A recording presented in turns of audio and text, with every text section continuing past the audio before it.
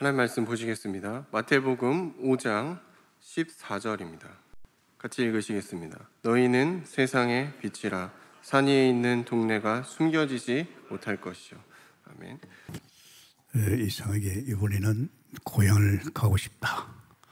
특히 고향의 동생들 에, 부산에 한 대가정이 살고 있습니다. 안양에 저 수원에 단가정 살고 수원을 먼저 두르고 쭉 나갔습니다. 그래서 제가 참 큰 응답을 받았어요. 무슨 응답이냐? 어, 동생들 다 제사 지나고 있잖아요. 제가 이미 하나님 믿고 제사가 뭐라는 거 알지 않습니까? 조상 귀신성 이런 건데 이걸 분명히 이야기해 줘야 되잖아요. 근데 이상하게 내 마음속에 그 믿음도 제대로 없는데 그 말 해가지고 알아듣겠나? 내 마음속에 그럴 것 없다. 내가 주님께 맡겨버리자. 저들 스스로가 제사를 그만두도록. 그래서 저도 모르게 주님께 완전히 맡겨버렸어요. 에, 세월이 많이 걸렸잖아요. 이상하게 이야기할까 해도 주님과 약속이 있기 때문에 내가 하나님께 완전히 맡기기 때문에 하나님이 손을 대가 저 스스로가 제사를 안 하도록 해야 되는데 상당히 제 나름대로 아, 이거 내가 이야기해 줘야 되는데 주님께 맡겨가지고 세월이 많이 지났잖아요. 한 50여 상의 인생이 지났는데 아, 이번에 요즘 마음이 이상해요. 그래가지고 내려가려는데 한 3, 4일 전에 동생들이 다 제사 없애기로 했대요. 해보죠. 뭐 저들이 뭐 신앙생활을 잘하는 것도 아니고 교회 나갔다 말다 하는 사람들인데 뭐 전부 다 동생들 인원해가지고 우리 집 제사 없애자. 저들은 그렇지만 저에게는 큰 응답입니다. 내가 손을 안 댄데도 하나님이 어떻게 보면 내 믿음의 고집이죠. 아, 주님이 주인인데 주님이 하시겠지. 굳이 내가 말해야 되느냐. 그런데 그 응답을 받았어요. 응답 받고 내가 야 하나님께서 응답이 아니고 이번에 쭉 도니까 뭐 하는지 아네요. 뭐 그동안에 나갔다 안 나갔다 하는데 원인 형님 이제 교회 나가겠습니다. 이구동성으로 야, 내 그걸 보면서요. 아, 이제 하나님께서 때가 돼서 이제 정말 저들이 이제 하나님 바라보는 중심에 섰구나. 어, 그, 그동안에 수없이 기도했습니다. 뭐, 제가 아침마다 기도하잖아요. 우리 고향과 형제간들 놓고. 그 기도 어디 가겠습니까? 절대 가지 않습니다. 네, 이렇게 해서 참, 또 제가 요번에 이 부산에 이제 흩어져 있는 동생 집을 돌 적에 전철을 이용했어요. 어, 아무래도 택시 타는 것보다 전철 낫겠더라고요. 그래가지고 동생한테 전철 어디서 어디 내려내는 쭉 이야기 하더라고요. 전철을 탔어요. 야, 전 정신 안 타잖아요. 근데 신기한 걸 봤어요. 내가 탈 그때는 사람들이 꽉 차질 안 해가지고 막 서로 앉아가고 있는데 앉은 사람들이 거의 거의 95%입니다. 핸드폰 하고 있는 거죠. 야, 뭐, 뭐 다른 생각 안 해요. 뭐. 어떤 사람은 들어올 때부터 한 핸드폰을 갖다 계속 하고 있는 거죠. 그 중에서 못하는 사람 보니까 보니까 나이 많은 사람들이야. 야, 그걸 보면서 저는 마음을 다 뺏기구나. 그까지 핸드폰에도 내 마음을 다 뺏긴 거예요. 야, 이거 보통 일 아니다. 똑같아요. 뭐 제가 전철을 갖다 한네번 탔는데, 네번 탔는데 똑같아요. 사람들이 마음을 어디다 다 뺏깁니까? 네, 뺏겨요. 뭐, 우리 성도들도 뭐 개를 키우는 사람 있겠죠. 그러나 마음을 뺏기면 안 됩니다. 우리가 얼마나 귀중한 시간입니까? 내일이 없는 인생을 사는데 오늘 귀중한 시간에다가 우리 마음을 나한테 뺏기면 안 되잖아요. 그죠? 정말 저는요, 너무 사람들이 뭐 역시 세상 속에 살고 세상을 엮어가다 보니까 뭐 거기에서 나오는 뭐 핸드폰이나 모든 것 다 뺏기겠죠. 우리는 틀립니다. 우리는 하나님께 마음을 뺏겼습니다. 아멘입니까? 우리가 어두움인데 빛이 왔잖아요. 우리는 이제 빛 가운데 살고 빛입니다. 빛의 자녀들입니다. 이제 빛을 바라보니까 늘 주님 바라보고 주님 뭐죠? 이런 믿음을 살아야 되는데 길지도 않은 인생을 갖다가 전부 그동안에 아담이 후손을 와가지고 이제 막 그 세상의 마음을 다 뺏겼는데 하나님이 이처럼 우리를 사서 독생자 예수를 주셔서 저를 믿는다면 멸망치 않고 영생을 얻어서 이젠 빛 가운데 있는데 빛의 자녀가 되는데 우리 마음 뺏기면 안 됩니다. 절대 뺏기면 안 됩니다. 제가 처음 예수 믿어 보니 그렇더라고. 아니, 우리 내가 이제 하나님 자녀됐지요. 이제 하나님이 나와 함께 하지요. 이제 나의 모든 삶은 하나님께서 주장하지요. 그러니까 내가 시종일관 하루 종일 주님만 바라봐야 되겠더라고요. 그 주님만 바라보고 사는데요. 왜 이렇게 행복한지 모르겠어요. 왜 이렇게 걱정이 없는지 모르겠어요. 이상하게 하나님마다 하나님이 도우시고 하나님이 역사하는 거 있죠. 그러니까 제가 하나님께 눈길을 뗄 수가 없더라고요. 메세보기도는 말할 것도 없고 오늘 하루 내가 사는 현장이 어떻습니까? 흑암의 동네입니다. 다 불쌍하게 빠져서 지금 세상이 지금 아비만 합니까? 그러니까 아침부터 시작했어요. 또 저녁에 뭐 퇴근 시간에 뭐 교회 가가지고 조용히 말씀 보면서 기도하면서 어떻게 보면 올인하는, 올인하는 거예요. 그렇게 해야 하나님께서 어떻게 보면 이 무서운 세상 속에서 넘어설 수 있을 줄 믿습니다. 너는 빛이다. 그렇죠. 마태오 5장 14절에 너는 빛이다. 우리가 보통 사람 아닙니다. 너희는 빛이다. 아, 여러분, 우리가 빛입니다. 그렇잖아요. 빛 대신 주님께서 우리 안에 와 계십니다. 그분은 빛 아닙니까? 나는 그분 안에 있습니다. 내가 빛과 소금입니다요.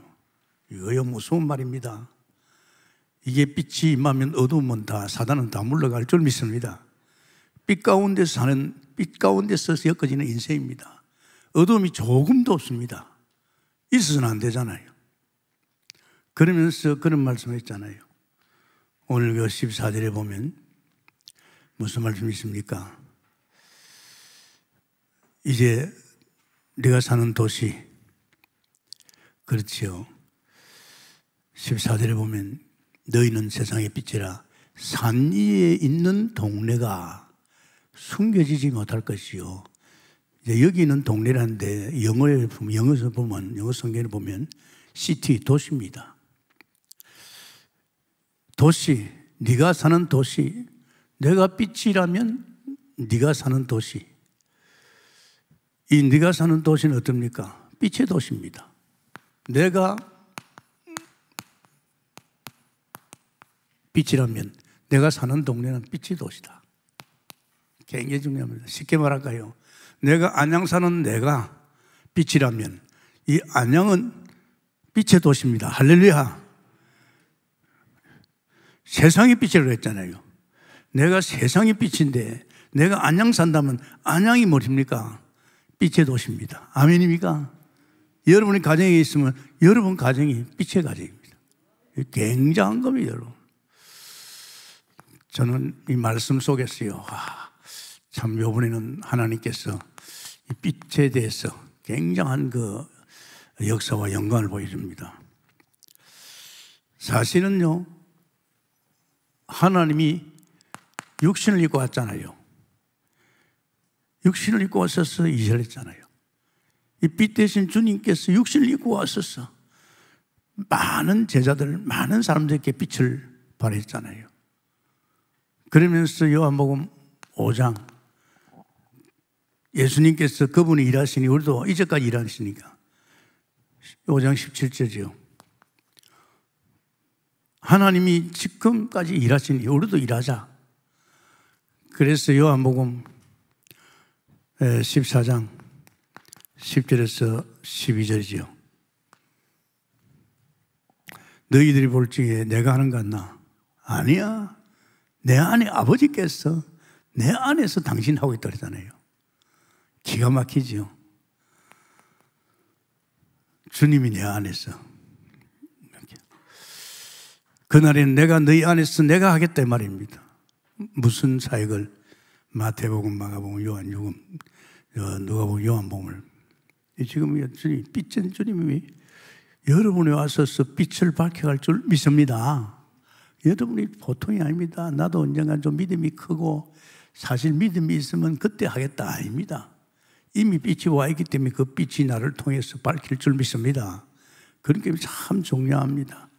온 세상이 지금 어둠에 채 있잖아요. 그래서 우리는 생각할 것이 지금은요, 도시가 어떤 도시가 됐습니까? 이 어둠의 도시입니다. 지금 살고 있는 도시가 어둠의 도시입니다. 다 그렇잖아요. 아담의 후손들이 엮어가는 그걸 장악하고 사단이 장악해가지고 마치 자기 것같이 착각하고 있는 이 어둠의 도시입니다.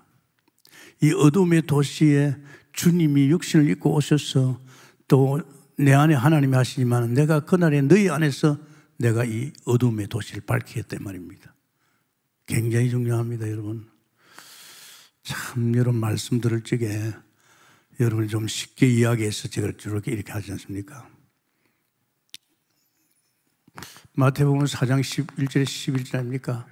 예수님 공생에 나와보니까 아, 이놈이 말이야. 감히 누구십니까? 하나님 아닙니까? 이 하나님 앞에 네가 내게 절하면 세상 모든 영광을 다 주겠다 그랬어요. 다시 말하면 세상의 영광이 세상의 모든 것이 다 이 사탄이가 자기 것을 생각하고 있잖아요. 누구한테 감히 하나님, 하나님 만들었고 하나님 만물을 갖다 자지우지하는데 이 사단이가 예수님 앞에 감히 그 말 하잖아요. 참 안타까운 일이죠. 그래서 지금 세상은요, 음부의 건세가 장악하고 있습니다. 오늘 이 세상은, 대한민국은, 세계는요, 음부의 건세, 어둠의 세력이 완전히 장악하고 있잖아요. 그게 무슨 겁니까? 이 선악과 때문에 그렇게 거예요. 선악과 때문에. 선악과 사건 때문에 그렇게 된 거죠. 그러니까 감히 예수님께 네가 내게 절하면 이게 웃기죠. 네가 내게 절하면 천하 만국 만국의 영광을 다 주겠다. 보십시오. 오늘 이 땅의 인간들이요, 이 천하 만국의 영광 성공하기 위해서 지금 전부 다 절하고 있습니다. 누구한테? 뭐 아담의 후손이니까 당연하지요. 뭐 자기한테 귀신에게 막 절하잖아요. 참 우상에게. 그러니까 이게 지금 뭐 보통 일 아닙니다, 여러분. 여러분은 뭐 아무래도 좀 구별되지만 지금 이 세상은요, 이렇게 엉켜가고 있습니다. 왜 그러느냐? 완전히 지금 우리가 살고 있는 도시가 어둠의 도시고, 음부의 건세가 지금 세상을 장악하고 있습니다. 그러면서 네게 절하면 천하 만국의 영광도 주지만 네가 내 일을 좀 해라. 그 일이 뭔지 압니까? 마태복음 12장 25절입니다. 내 일이 뭔지 알죠? 분쟁을 해라 분쟁. 마귀는 이간자거든요. 네가 이제 그렇다면 네가 내 일을 좀 해라. 분쟁을 해 싸우라 자꾸 싸우라. 이게 싸움을 누가 붙입니까? 사단이가 붙이는 겁니다, 여러분. 이게 마귀는 이간자인데 여러분 특히 교회 와서 자꾸 분쟁을 일으킵니다. 네편내편 이야기하고 말이에요. 맞다 안 맞다 그러고요. 이 사단이 한 짓거리 이겁니다, 여러분. 집에 들어가서 집에도 부부간에 자꾸 이간시키고 부모와 자식 간에도 이간시키고요. 이거 보통이 아닙니다, 이게. 아, 저 사람 때문에 저 사람이 아니라니까. 저 사람 자체가 지금 하나님을 떠났으면 이제 뭐냐. 그 아담의 우선이 있으니까 이기다 말이에요. 그래서 여러분 절대 이거 하지 마세요. 제가 목회하면서 처음 교회 가보니까요. 왜 그리 말이 많아요? 왜 그리 시기하고 질투하고? 나는 이해가 안 됐어요. 이 좋으신 하나님을 믿으면서 그 하나님 앞에 예배하고 하나님 은혜 받고 하나님과 함께하는 은혜 속에서 하나님 나라와 일을 이해해야 되지. 보통은요, 불평하고. 이상하죠? 절대 안 됩니다. 그래 하니까 어떤 일이 벌어지죠? 마태음 16장 13절이죠. 이게 속국이 되는 겁니다. 로마의 속국이 되어버렸어요. 아니, 나라가 서로 싸우고 분쟁하니까 로마의 속국이 되어버렸어요, 여러분. 무서운 일입니다. 인간은 영적 존재를 알아야 됩니다. 잘 먹고 잘 입고 잘하면 된다. 그게 아닙니다. 인간 영적 존재입니다. 영적 존재. 하나님을 떠나니까 이게 육으로 가지고 살라니까 그래 되지요. 이제 속국이 되보잖아요. 지금 보십시오. 지금도 어력을 합니다, 지금. 러시아가 지금 우크라이나 집어 삼키려고. 저 중국이 지금 또 대만을 집어 삼키려고. 만약에 대만 사람들이 서로가 말이지 막, 하, 이런 싸우면 어떻게 됐어요? 뭐 자동적으로 넘어갑니다. 이거 참 무서운 겁니다. 그러면서 지금 도시가 어떻게 되어 있어요? 지금 이 마태복음 1자 10장 1절 15절입니다. 1절 15절에 뭡니까? 이 도시마다 이리 때가요. 우글우글합니다. 집을 삼키려고. 집을 삼키려고 지금 이리 때가죠. 우글우글합니다. 그러면서 또 지금 우리 사람들 보십시오. 사람들은 지금 어떻습니까? 다 개인이 귀신 들려 있어요. 마태복음 12장. 마태복음 12장에 보면 41, 45절에 이 귀신 들린 이 집에서 이 사람 집에서 이 귀신들이 나갔어요. 돌아다니면서 좀 실만한 곳이 없어. 다시 자기 집으로, 이 사람 집으로, 이 귀신 성기는 집으로 들어왔지요. 그, 그 일곱 귀신, 더 악한 일곱 귀신을 듣거든요. 지금 사람들 지금 많아 귀신 들린 사람들, 뭐 무당들이 대표합니까? 또 무상 성긴다는 그 짝에 귀신 성기는 겁니다. 지금 사람 이게 있습니다. 그래가지고 지금 이 도시가 지금 어두움에 처해 있습니다. 자, 우리 삶이 큽니다. 뭐 좀 잘 먹고 잘 사는 게 문제 아니잖아요. 이 엄부의 도시가 되었어요. 엄부의 도시. 엄부의 도시. 나만 잘 살면 됩니까? 아, 그러지 않잖아요. 저 북한 봐요. 완전 허감의 도시입니다. 흑암의 나라입니다. 저 중국도 마찬가지고, 지금 러시아도 마찬가지고, 지금 저 일본도 마찬가지고요. 참 심각합니다, 지금. 자기들은 모르잖아요. 영적 세계를 모르니까 이렇게 사는 것이 맞다고 생각합니다. 당연히 우상 섬기고 귀신 섬기고 싸움질하고 말이야. 뭐 이런 세상인 줄 알고 있습니다. 아닙니다, 여러분. 여러분이 이 자리에 앉아서 정말 이 말씀 듣는 여러분이 삐치고 삐친 여러분들이 지금 어둠에 처해 있는 가정이나 여러분 동네나 우리가 사는 이 안양 도시나 또 이 수도권이나 이 민족 세계가 삐친 여러분을 통해서 밝혀지게 됐으면 축원합니다. 이거 이 말하는 거예요 지금요. 예수 믿는 사람도 복음 딱 깨달으면 보입니다. 근데 이 복음 못 깨달으면요 영켜가지고 우리 이 땅에 살았잖아요. 태어나면서 우리는 아담의 후손으로 벌써 하나님을 떠나서 육으로만 사는 인생으로 겪어가고 있잖아요. 그러니까 여기에 엉켜 살아듭니다. 그러나 예수 그리스도 믿으면요, 빛으로 여기에서 빛을 받고 빛으로. 그러면 이제 우리가 통해서 이게 이제 굉장합니다, 여러분. 우리 한 사람 한 사람이. 근데 예수님께서, 이 빛 대신 주님께서 사실적으로 보여줬죠. 너는 빛이다. 너는 빛이다. 이 빛 대신 주님께서 광야에 40일 동안 광야에 있습니다. 금식했지요. 이 예수님이 광야라 하는 것은요, 공생에 들어와서 이제는 여태까지 살던 그 세상이 아니고 딴 세상에 들어왔어요. 광야 알죠? 딴 세상. 이 세상은요, 어떤 예수님이 이제는 발을 디디는 세상은 히브리서 12장 20에서 24절입니다. 손으로 짓지 않는 크고 창조에 속하지 않은 크고 온전한 세계입니다. 예수님은 그런 분 아닙니까? 여기는 하나님의 창조에 속하지 않은 창조에 속하지 않은 영존 세계, 영원하신 그걸 말해서 히브리서 9장 12절이요. 11절 12절입니다. 영전세계입니다. 예수 믿는가 동시에 우리에게 나오면서 우린 이 세계 속에서 나오면서 우리는 영존 세계. 아멘입니까?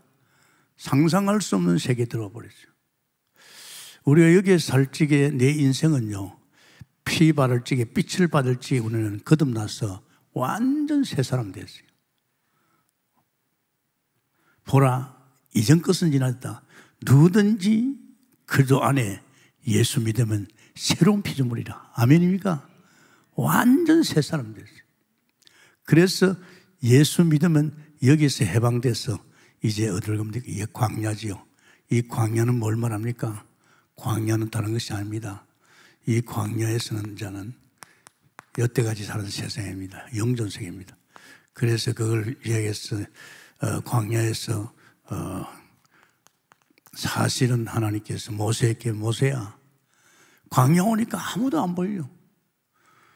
광야 오니까 농사도 못 짓겠어. 우물도 못 파겠어. 이 광야 오니까 하나님께서 야 모세야 여기 하늘나라 모형을 만들어라. 그게 성막이지요. 하늘나라 모형을 만들어라. 여기 이제 서랍들이고 여기 보자고 보자고 편의 하나님의 아들이고 성삼이지요. 그러면서 여기는 말씀이 그러면서 여기는 생명의 떡이 여기는 뭡니까? 빛이 이제 이 세계 속에 사는 거죠. 완전히 틀립니다, 여러분. 여기 살던 내가 이제 이 안에서 이제 보좌로 오고 사는 거죠. 이제 보좌로부터 하나님의 말씀이 보좌로부터 생명의 말씀이 생명이 보좌로부터 빛이 이제 이것이 예수 믿고 구원받은 우리들의 현주손들 믿습니다. 좀 어렵지만 어려운 거 없습니다. 제가 그림을 그린 것은 말로 이렇게 하면 잘 못 알아듣니까 이걸 그래서 사실은 광야 40년 동안에 이스라엘 백성이 성막만 바라봤어요. 성막만. 이 성막만 바라보면 사는 거죠. 그래서 모든 이스라엘 백성이 장막을 칠 때는 성막 중심을 줍니다. 이 성막은요, 낮에는 항상 구름 기둥이 덮고 있어요. 밤에는 항상 불기둥이 덮고 있습니다. 그래서 이스라엘 백성이 여기에 눈을 떼면 안 되잖아요. 이제 성막만 바라보면 삽니다. 아멘입니까? 예수 믿고 구원받은 사람은 주님만 바라보면 살 줄 믿습니다. 이 말 하는 거예요, 지금 이 말. 다른 거 보면 안 된다, 이제. 우리는 그동안에 다른 거 보았다가 망했잖느냐. 이제 여기서 나온 여름 거듭나서 새 사람 됐고, 이젠 딴 세계 속에 들어와 있잖아. 이 딴 세계 속에 사는 길은 뭐냐? 주님만 바라보면 삽니다. 세상에 40년 동안이요. 광야 생활에 40년 동안 농사 한돈안 짓고 우물 하나 받아요. 성막만 바라보니 살난 줄 믿습니다. 이걸 이야기하는 겁니다. 여러분 도저히 이해가 안 되지요. 아이고 목사님 그래도요 돈 벌어야 돼요. 우리 식구들 먹고 살아야 돼요. 그래도 목사님 그렇죠. 우리 집이 있어야 되지 않습니까? 그리고 차도 있어야 돼요. 도저히 이해 안 됩니다. 예, 애굽에 살지 이스라엘 백성이 그렇게 했습니다. 농사 짓고 우물 파고 고기 잡먹고 그렇게 했습니다.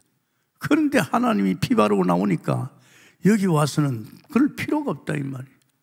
아이고 목사님 그래도요 우리가 아닙니다.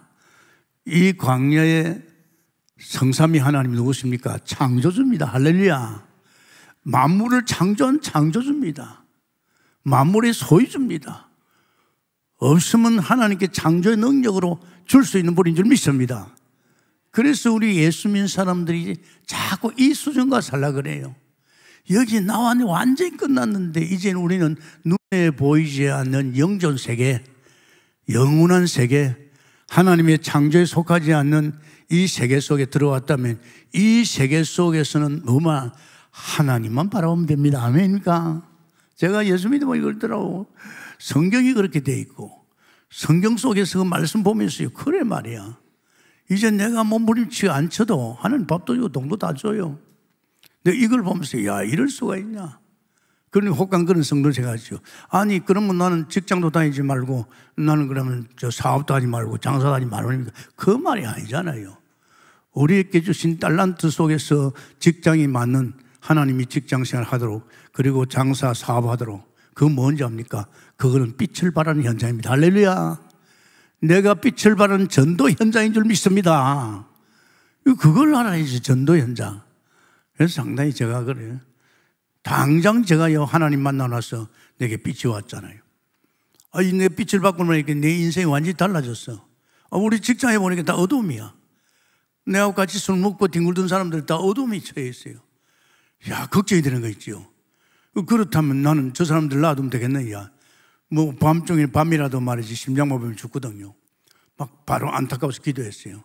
어, 제가 말이야, 이 말씀을 편집하고 이제 이 설계를 했지요. 이 내게 있는 이 어마어마한 이 축복이 이 하나님이 이 빛이 말이야, 저들에게 임하게 해달라고 막 기도했지요. 뭐 제가 전도를 못했죠. 왜? 왕따를 당했기 때문에. 그런데 보십시오. 내게 있는 이 빛을 저들에게 갈 수 있도록 기도했지만은 저들이 스스로 찾아왔어. 예수 믿겠대. 김선생 예수가 너무 좋아 보이는데 좋지요. 완전히 틀립니다. 내가 여기 살던 인생은 완전히 틀립니다, 여러분. 이 속에 들어오면 참 행복해요. 여기서 내가 참부 일일이 내가 머리 쓰고 뒹굴고 해야 되는데 여기는요, 그거 없습니다. 내 안에 오신 창조주 주님께서 내 인생을 엮어가는 눈꽃만큼 도 걱정할 수 없는 엄밀히 따지면 여기 나올 적에 우리는 하나님 형상 회복된 줄 믿습니다. 완전히 다른 사람이에요. 나는 처음에 내가 기도해서 조금 바뀌었나? 그게 아니에요. 성경 보니까 이건 재창조예요. 완전히 하나님께서 이제는 여기 있던 내가 나와서 이제 이 영존 세계 속에서 이젠 주님만 바라보고 주의 은혜로 살고 빛을 발하는 사람 살고 시대 살리는 사람으로 엮어간 거예요. 저는 놀랬습니다. 여기서부터는 저는 뭐 돈도 주고 밥도 주니까요. 뭐 그거 쳐다볼 필요가 없어요. 그러면서 우리는요, 나의 도시가 빛의 도시가 되게 해서 우리 할 일이 있죠. 이 빛의 도시가 되기 위해서. 어떻게 해서 이 허감의 도시가 빛의 도시로 바뀝니까? 이게 하나님께서 우리에게 주신 축복입니다.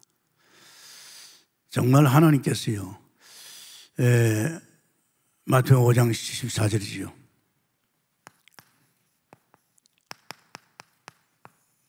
참 중요합니다. 자, 여러분, 이제는 이 보좌 중심으로 살지요. 보좌만 바라보는, 성삼이 하나님만 바라보는 삶을 사입니다 보좌만 바라보면 됩니다. 이 보좌가 그냥 있지 않습니다. 보좌가 움직입니다. 그렇잖아요. 누가 법계를 냈어요? 이 보좌를 움직이는 누굽니까? 지금 이 제사장들이 움직이고 있는 겁니다. 이 보좌가 움직이면서 막 이제 빛이 바라면서 막 사람이 살아나고 빛 가운데도 돌아오고 말이야. 엄청난 역사가 있습니다. 눈에는 보이지 않지요. 눈에는 보이지 않지만은. 그래서 거기 보면 그런 말이 있으며 마태복음 5장 1절에 보면 이 보좌가 움직일 적에 뭐렇게 했습니까? 예수께서 무리를 보시고 산에 올라가 앉으시니 제자들이 나오니라. 아멘입니까? 제자들이 나오고 있어요. 예수님이 산에서 보니까 당신 앞으로 제자들이 나온지라. 이게 문제입니다. 나온지라. 결국은 키는 이겁니다, 여러분.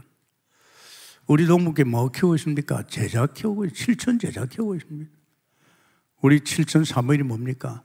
영적 지도자 제자. 지금 이걸 찾고 세우잖아요. 정치, 경제, 사회 모든 분야에 여기에 생명 걸고 한 분야에 영적 지도자로서 그 분야 우리 대한민국 아니면 정치 같으면 세계 모든 나라까지 그 정치 지도자를 일으키는 그런 제자 찾잖아요. 우리 중직자 평신도는 뭡니까? 오바든 로마 16장 인물들 같이 이제 현장에서 7천 자역 실제 할 사람, 실제 현장에서 7천 자역을 가지고 그 분야를 뒤집을 사람, 그걸 우리 교회 찾고 있잖아요. 그런 사람 제자를 찾고 있잖아요. 우리 뭐 정직자 가운데서 또 우리 평신도 가운데서 그러면서 우리 미래 칠천 제자 이 찾는 거 아닙니까? 우리 지금 태영아부터 시작입니다. 애를 놓고는 그냥 놓지 말고 기도하고 나라. 한나와 같이 말이지. 사무엘을 달라고 기도해라. 이게 이제 우리 동북계다 말이에요. 그런 이 태영아에서 그런 생명을 키워서 이제 유치부로 보내고 유치부에서는 또 어린이집으로 같이 보내고 또 여기에서는 이제 유초등부를 보내고 유초등부에서는 이거 DSC를 보내고 이 지금 우리 교회는요 미래 7천 제자 키우는 교회인 줄 믿습니다. 그렇다 보면 교회 들어온 모든 성도는요 전부 제자로 이거 보통 아닙니다. 어, 저는 제자 키우기 위해서 하나님께서 이렇게 선지자 되신 주님을 통해서 말씀을 자꾸 갖고 가잖아요. 그래서 참 중요한 것은요. 여기 보면 제자들에게 나오는 말씀들이 있죠. 뭐라겠습니까? 심령이 이 마음이 문제지요. 심령이 가난한 점 복이 있나니 천국에 이르리라. 이런 제자가 있다면 참 마음이 중요하지요. 심령이 가난한 자 있다. 그의 마음은 천국이라. 여러분, 참 천국이 마음. 복잡한 마음 다 비우고 딱 주님, 빛을 주님 보면요. 마음이 천국입니다. 그러면서 뭐렇게 했어요? 애통하는 자는 복이 있나니 그들이 위로를 받을 것이요. 그렇잖아요. 이 현장을 보니까 애통해서 못 견디겠어요. 안타까워서 불쌍해서 못 보잖아요. 정말 내가 빛을 받고 빛 가운데 산다면 지금 이게 보이게 돼 있고 지금 내 형제간들이 이웃들이 지금 시민들이 말이지 나라 백성들이 세계 사람들이 여기 엉켜 있는 볼 적에 어떻게 애통한 마음이 안 생겼어요? 그죠? 이런 사람이 제자란 말이야. 애통한 사람. 주님께서 제자를 볼 적에 이런 사람 봤지요. 그러면서 온유한 자는 있나니 그들이 땅을 기업으로 그렇죠. 아주 온유한 사람들. 이 말씀 중심에 살아가는 이 사람들에게 땅을 기업으로 줄 것이고 또 어에 줄이고 목마른 자는 복이 있나니 그가 배불러. 정말 어려운 삶에서 어에 줄이고 공모한 사람. 그러면서 또 있지요. 거기 보면 뭐라고 했습니까? 국률이 여기는 자는 복이 있나니 국률 안 받을 것이고. 그렇지요. 우리가 늘 하나님의 국률함을 입잖아요. 이 국률함을 베푸는 사람, 하나님께 국률함을 주고. 또 그러면서 거기 보면요. 마음이 청결한 자는 복이 나니 하나님을 볼 것이요. 이 마음이, 마음이 청결한 자. 그래서요, 마음이 참, 이 말씀과 기도 속에다가 뭐 우리 거룩해집니다. 거룩하다는 것은 마음이 청결한 거 아닙니까? 그죠? 그런 쓰잘 껐는데 마음을 뺏기고요. 막 이러면요. 마음이 복잡합니다. 그제 빛의 마음이 아니죠. 그래서 우리 영의 사람이고 이제 주님으로 살고 이제 주님 것으로 살기 때문에 우리 마음과 중심이 늘 예배 중심, 하나님 중심, 하나님의 기도하는 중심 이 되어지면 마음이 청결할 줄 믿습니다. 이거 우리입니다, 이제. 이때까지 살아온 이거 아니라니까요. 왜 아직도 마음을 여기다 뺏깁니까? 그것도 그렇지요. 우리는 이 세상에 아직 살면서 나오지는 않았잖아요. 근데 실제 우리 현주소는 여기입니다. 네, 이런 것들 어떻게 하십니까? 안타깝지요. 제가 그랬잖아요. 이상하게 하나님 믿은데요. 발 디딜 틈이 없어, 발 디딜 틈이. 이야, 이거 큰일 났다 싶어요. 나는 이제 하나님 믿고, 이제 하나님밖에 없고, 하나님 바라보는데, 내가 사는 동네, 야, 이거 큰일 났어요. 발을 못 붙이겠어요. 심지어는 교회까지 갔어요.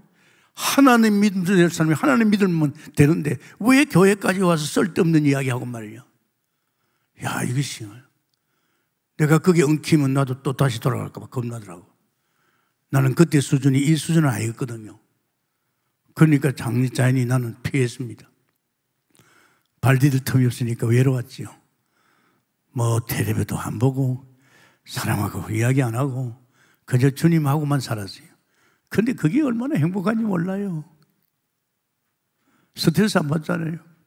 요새도 집사람 그래요. 요, 요 목사 그렇게 했나? 그래도 뉴스를 보면서 말해 태풍 온다는 걸 알아야 될 거 아니야? 사진 난 뉴스 잘 안 보거든요. 뭐 신문이나 조금 보지. 그 보면요 복잡합니다. 이렇게 살 수 있느냐 말이야. 이런 정치 믿고 살 수 있느냐 말이야. 도대체 세상은 어떻게 될 것이냐 말이야. 여기 엉켜 들어간단 말입니다. 엉켜. 여러분 정말로 하나님 안에서 사는 지혜의 길에서 축원합니다.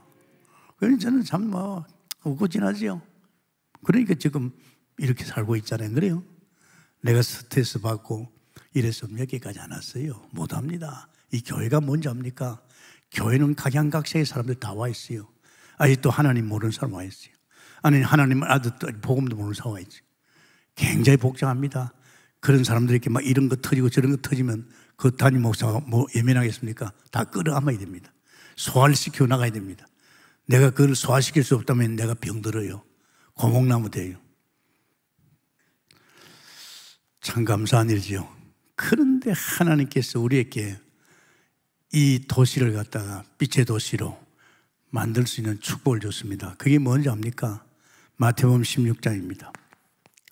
16장 13절에 10절입니다. 이 도시를 빛된 도시를 이제 만들 수 있는 게 제가 그 16장 읽어보겠습니다. 자, 16장에 13절부터 예수님께서 빌리보자 이자리 지방에서 제자들에게 물어가라사대 사람들이 나를 누구라 하느냐? 인자를 누구라 하느냐? 이르시되 들으는 세례 요한 들으는 엘리야. 어떠니 에레미야는 선자 중에 하나이다. 이르시되 제자들을 향해서 너희는 나를 누구라 하느냐? 중요한 질문입니다. 그때 시몬 베드로가 대답하여 이르되 주는 그리스도시요 살아계신 하나님의 아들이십니다. 아멘. 야, 이 대답하니까 바요나 시몬아 네가 복이 있다. 이를 알게 한 것은 네가 아니요 혈육도 아니야. 하늘에 계신 내 아버지시니라. 또 내가 내게 이르노니 너는 베드로라. 내가 이 반석 위에 내 교회를 세우리니 음부의 건세가 이기지 못하리라. 내가 천국 열쇠를 내게 주겠다. 보여. 베드로의 고백입니다. 자, 주는 그리스도시요 살아계신 하나님의 아들 이 고백 어떻습니까? 그러면서 하나님께서 이 고백이에 내가 내 교회를 세우겠다. 아멘. 교회를 세웁니다. 이 고백하는 그 사람들 통해서 교회가 세워질 적에 이 교회가 음부의 건세를 꺾일 줄 믿습니다. 음부의 건세를 꺾습니다. 다른 거 아닙니다. 마태복음 16장 18절 다른 것은 꺾을 수 없잖아요. 이 교회가 얼마나 중요한지 압니까, 여러분? 정말입니다, 여러분. 여러분이 이 교회 왔다면요. 교회 시간이 가면 갈수록 야, 어떻게 내가 이런 교회 왔느냐 말이야. 교회들이요. 문제 많습니다. 근데 우리 교회는 강대사에서 한결같이 하나님 살아계신가 이 복음 이야기 하잖아요. 안 그렇습니까? 여러분도 모르게 지금 굉장히 복음이 사실화되고 여러분 빛 가운데서 빛을 발할 수 있는 제자된 줄 믿습니다. 그 가운데서 이 교회가 얼마나 내가 내 교회를 주님이 세우겠다면 어떤 이런 고백한 주는 그리도시여 살아계신 하나님 아들을 고백하는 이 사람들 중심으로 내가 내 교회를 세우겠다 하면 왜 세워야 됩니까? 음부의 건세는 이런 고백 속에 있는 이 사람들 중심의 교회만이 꺾일 수 있습니다. 그 안양은 이 음부의 세력이 어떻게 합니까?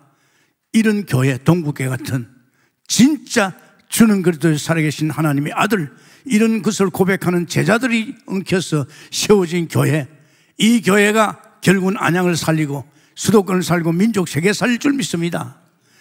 왜 살립니까? 음부의 세력이 꺾인다 이 말입니다. 아주 중요합니다.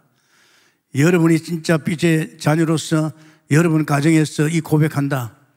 저는 그래도시여 살아계신 하나님이 아주 고백할 적에요. 바로 여러분 집이 어떻습니까? 이 업무의 세력이, 허감의 세력이, 사탄의 세력이, 귀신이 다 도망갈 줄 믿습니다. 굉장한 고백입니다. 이 고백.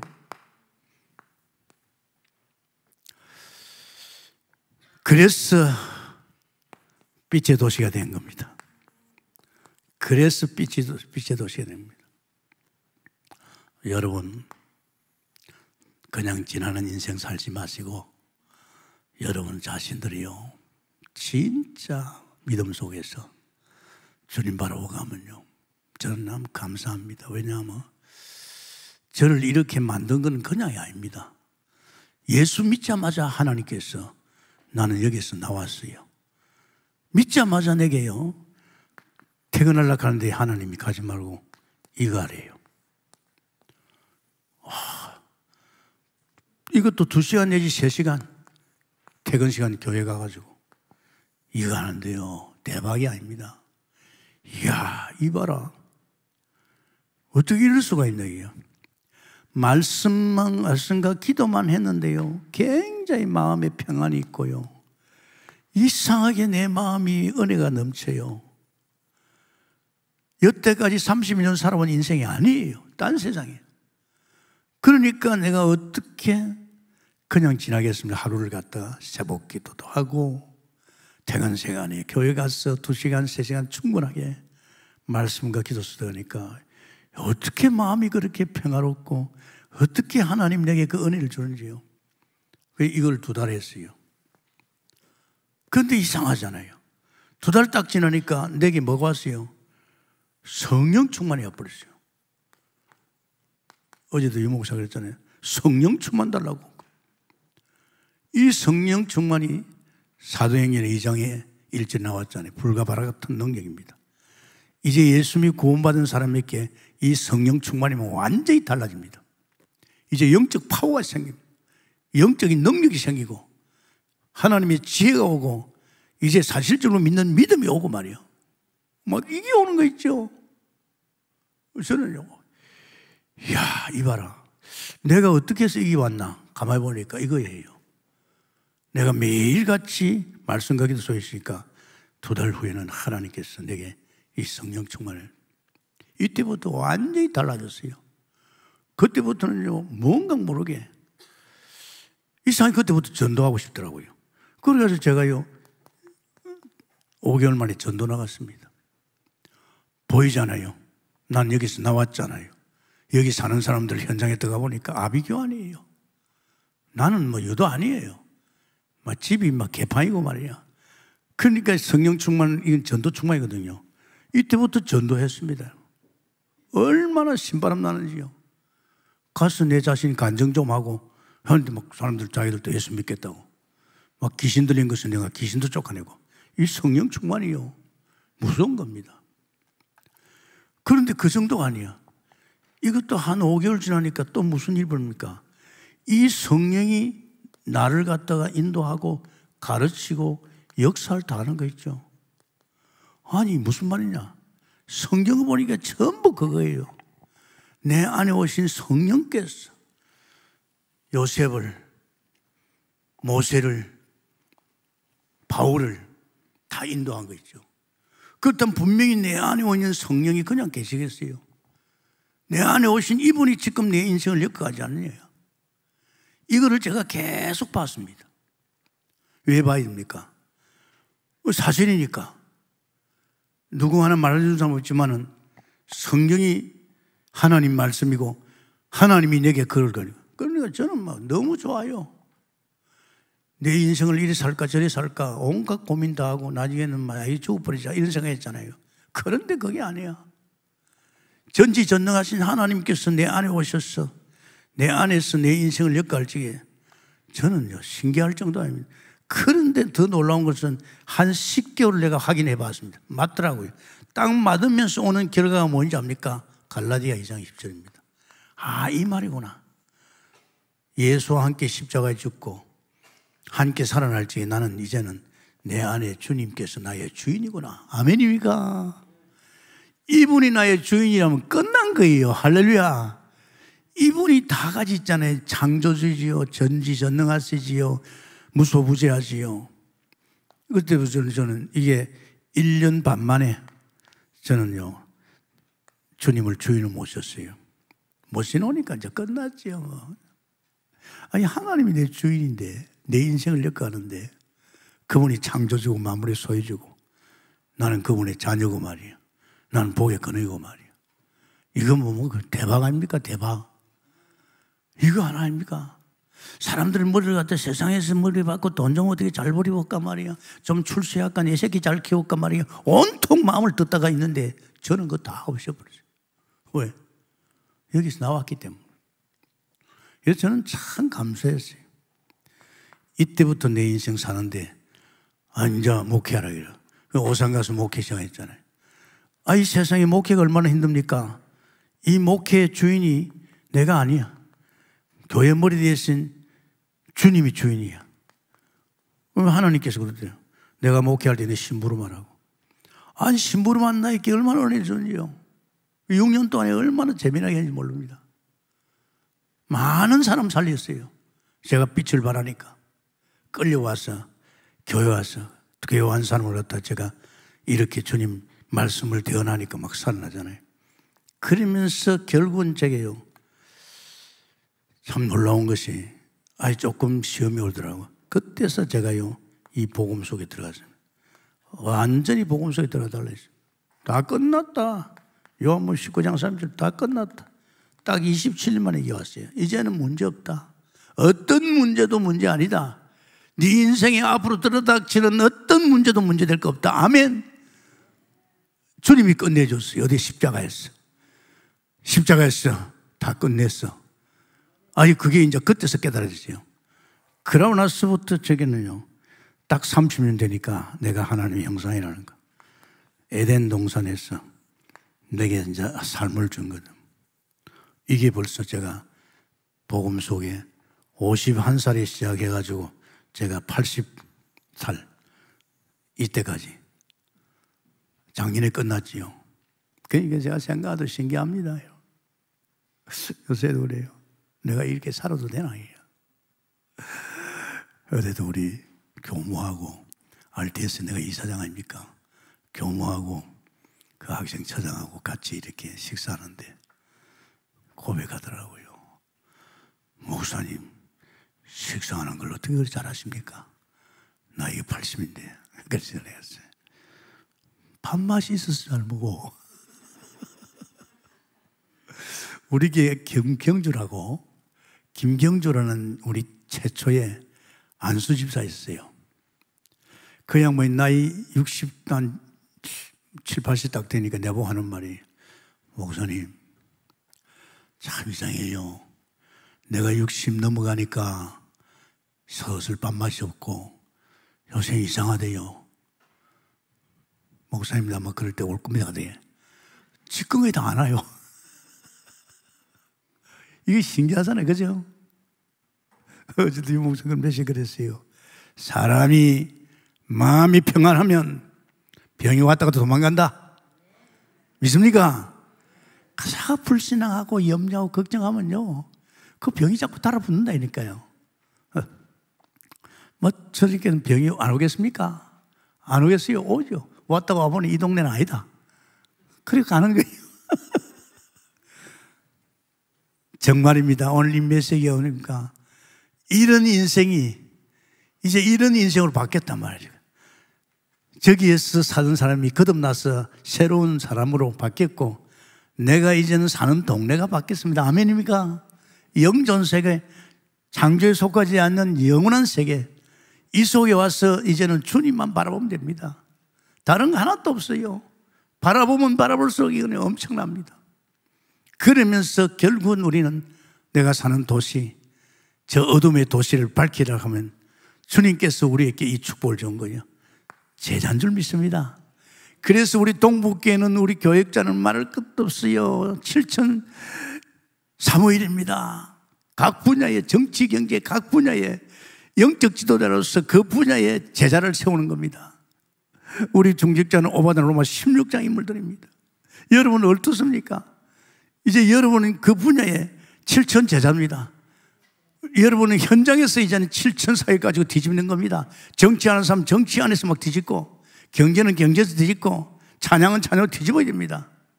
그래서 세상이 발칵 뒤집어질 거 아닙니까? 이 제자인데, 이 제자가 어떤 제자입니까? 심령이 이런 사람이고, 이런 제자가 고백할 적에 주는 그리스도시요 살아계신 하나님의 아들이십니 바요나 시모나 보겠다 이렇게 알게 한 것은 너가 아니고 하늘에 계신 아버지시다 아멘입니까? 아버지 하나님이 가르친 거예요. 내가 이 반석 위에 너희 고백 위에 내가 내 교회를 세우겠다. 하나님이 그랬어요. 내가 내 교회를 세우겠다. 음부의 근세가 이기지 못하리라. 아멘. 저 어둠의 도시가 빛의 도시로 바뀔 줄 믿습니다. 이런 놀라운 역사가 정말 이 교회 보통 교회 아닙니다.